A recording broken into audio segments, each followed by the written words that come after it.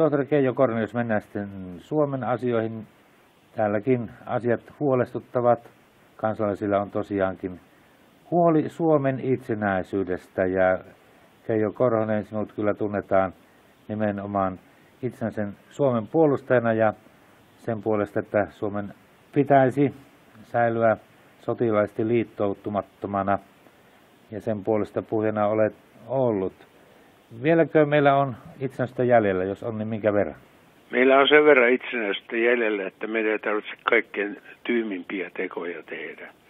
Eli toisin sanoen vetää meille oma, omalle alueellemme ilman mitään su- syytä ilman, että Suomen omat edut siitä millään tavalla olisivat kysymyksessä vieraiden suurvaltojen joukkoja ennen kaikkea amerikkalaisia. Jos katsotaan karttaa, niin siitähän asia selviää muutamassa sekunnissa. Suomi on Venäjän naapuri, ei Yhdysvaltojen naapuri.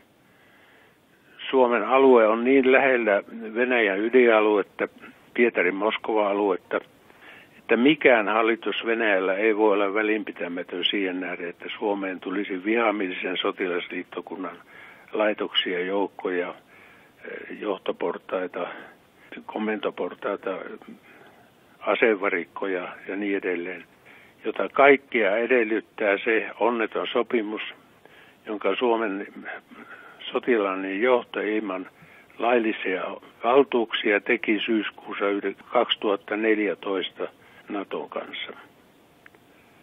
Se merkitsi Suomen antautumista erittäin varvisella tavalla. Minusta on käsittämätöntä, että Suomen johto tahallaan huonontaa välejä Venäjään, kun ei mitään syytä siihen ole, ja kun Venäjän kannalta suhteet Suomeen ovat ainoat koko Venäjän länsirajalla, jossa ei ole mitään ongelmia. Miksi meidän pitää kaivaa verta nenästämme, kun siihen ei ole aihetta? Miksi meidän pitää vaarantaa Suomen olemassaolo ja suomalaisten turvallisuus nimenomaan jonkun ulkonaisen meille kuulumattoman liittokunnan kanssa äh, etujen takia. Jos sattuu se kaikkein pahin, jota varten kaikki, kaikki nämä järjestelyt on tehty, eli Suomi joutuisi sotaan Venäjän kanssa, älköön kukaan uskoko, että Yhdysvallat tulee auttamaan tai NATO tulee auttamaan Suomea.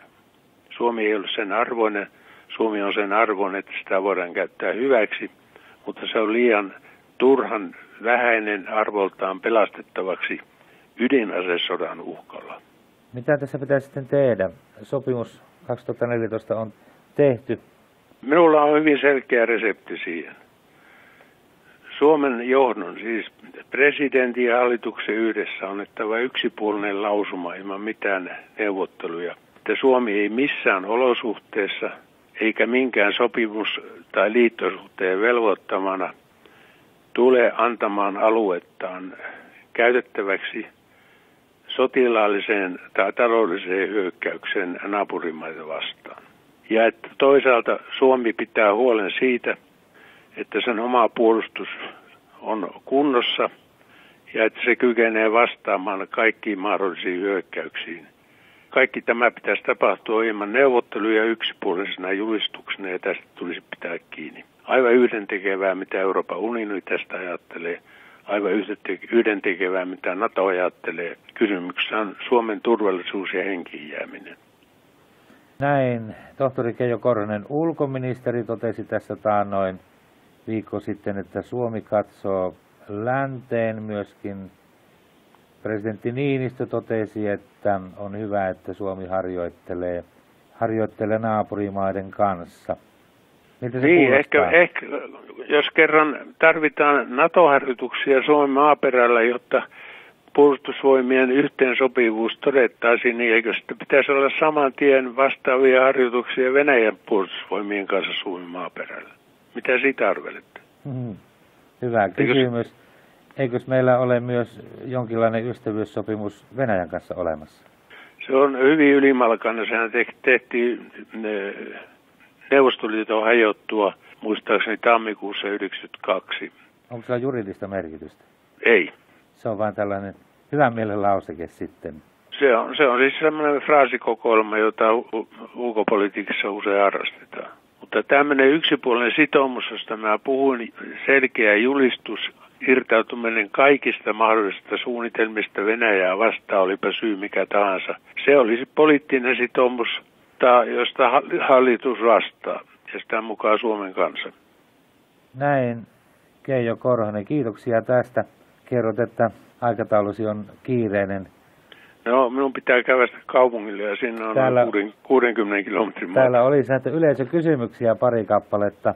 Ennätetäänkö nämä tähän ottaa vielä? No otetaan, minä yritän vastata lyhyesti. Mitä entinen ulkoministeri ajattelee Suomen ulko- ja turvallisuuspolitiikasta? Onko unohdettu kaikki maailman realiteetit?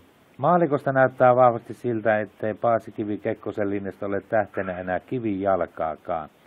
Ja erityisenä huolenaiheena silmissä on vieraiden valtioiden sotakoneiden leikkiminen maamme kamaralla ja ilmatilassa.